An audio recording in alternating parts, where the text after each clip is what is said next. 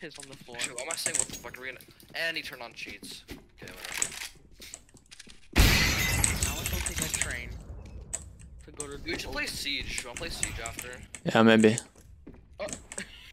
this will take eight hours to go to tomorrow. I have fucking online school. Like, get to go to class. Fuck.